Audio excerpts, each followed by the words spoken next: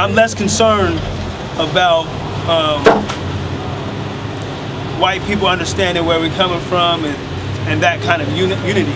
I think first we need the, real the real black unity, that that, that, that true um, connection to uh, just to oppress people. Period.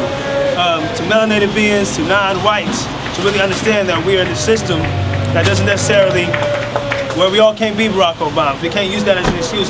We have a black president. You can do whatever you want to, but there's only one president, and there can only be one. So everybody can't be president. Um, so I think the first thing is really to, to begin to really do the active work to bridge our community, our people together to talk about what, what, what they need to talk about. Um, I, I, I, right now, I have less concern about what we can do to unite with white people and all that, only because we still have so much work to do ourselves. Um, the, the gap between young and old, but between young and young, between between 82nd and 83rd, you know, between Berkeley and Oakland, between East and West Oakland, between Acorn and Ghost Town. There's so much divide within our own communities, between the sisters and the brothers, between the old and the young. What, what we have to do is work about that first. And, and even too, man, the, this whole thing with, with with the separation between our brothers in Africa and our brothers and sisters out here. Yeah. We fun we we funking out here. you know what I'm saying? We come from the same root. You know what I mean? Like we gotta end that, man. You know, I, I, we gotta have it. We gotta be on the same page, man. You know what I'm saying? We all got this. we all on the white pages, but we tripping. You know what I'm saying? Based on the ink. You know what I mean? So we, we gotta come together on that tip. And just in general, man, we, we gotta get rid of this post-traumatic slave disorder stuff, man. This Willie Lynch, you know what I mean, really backstabbing each other, man. We gotta start seeing the humanity in each other again, man, as people. And then we can bridge out and see humanity in other folks. So not because she's a white sister, but I'm trying to look for her humanity and see where her heart is. You know what I mean? And once you start seeing people's heart is, you see what their intention can be. Not what they're trying to think about, what they already feel. So that's what I hope, man, um, uh, that we can do. Cause man, yo, we gotta do it. We gotta do. We, we gotta come together, man. You, if you put all the colors together in a crayon box, they all equal black, man. That's why we fighting. D-Ray says, you don't gotta start something, just stop something.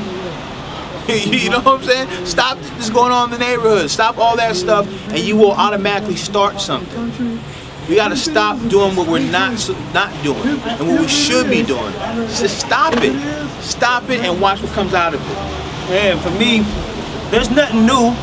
There's no magic formula. You know what Right. I mean? It, it, it- it's not like we have to create something that's never existed before. All the answers, um, you, you, you've heard the, um, the saying that uh, there's no new knowledge.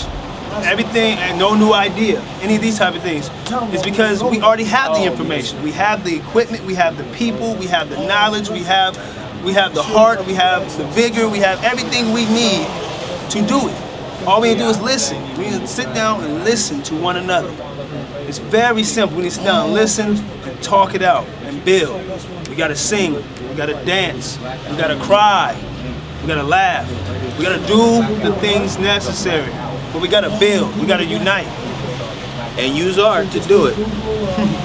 well, honestly, since y'all talking about films, uh, me, uh, Martin came up with this concept of writing a play based on the uh, actual meme between uh, Huey P. Newton and Felix Mitchell. And uh, so we came to do a snippet of it and uh, do some more research as we're um, going to begin to produce later on this year. And, um, you know, trying to reach out, trying to let the old folks know that there's some young people here, they're ready to get the torch passed to them if they're ready to extend their hand.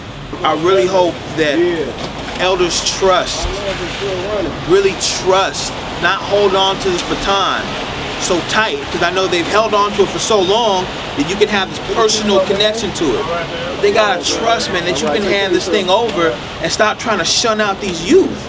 You know what I mean? Because you can't recognize them, understand them, or their energy might be a little bit different from yours. You know what I mean? We, we your grandchildren. You know what I'm saying? What, what, we've have we have a million great grandparents, so something's passed down to us, whether we tapping into it or not.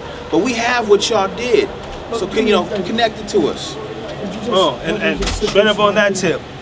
Um, right now, what we have is, is, is all these youth walking around who are descendants of the crack epidemic, who are descendants of, of the war on drugs, who are descendants of all these things.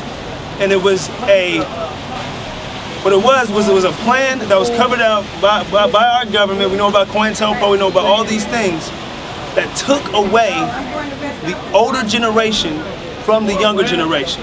And it created this separation. It was, it was a very well planned and orchestrated event where we had a there's a bunch of zombies, a bunch of little kids growing up without parents, without older role models, without all these people to tell them right from wrong and all these other type of things to raise themselves. So we really have a, a, a detachment from you, and, and, we need that energy. All that energy from the 60s, lots of and the 70s and all these great things we were doing, lots of it's lost to, to the needle, to the penitentiary, to all these other things. We, we need to figure out a way to get that back. And y'all already say y'all went to Africa, right?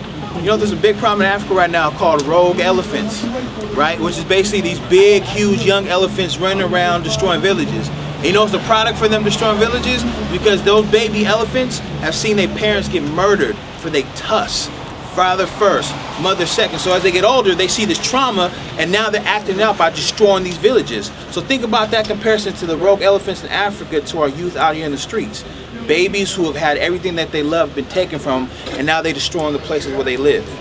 It's, it's, it's, we're not too far from nature, you know what I'm saying? And how you stop a rogue elephant is you run with it and get it going towards another direction versus destruction, versus life. Help heal, you know what I'm saying? And that's what we are at Rogue Elephants trying to find our packs. You can catch us on uh, Colored Ink at www.coloredink, C-O-L-O-R-E-D-I-N-K. That's where you can catch us. You can go uh, myspace.com slash Martin.